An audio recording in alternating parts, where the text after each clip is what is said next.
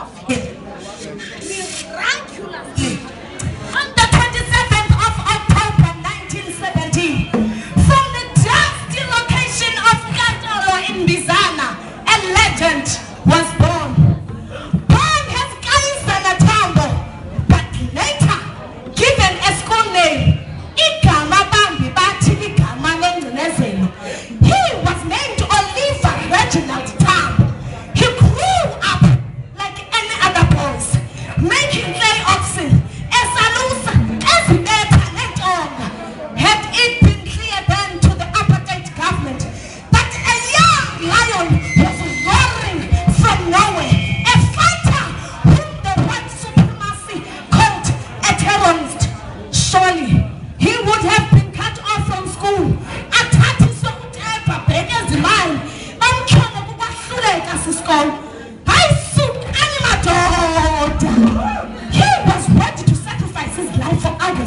He laid his life to save the human dignity. That was grabbed mercilessly ngabantu kwabanye abantu. He joined umkhonto wesizwe.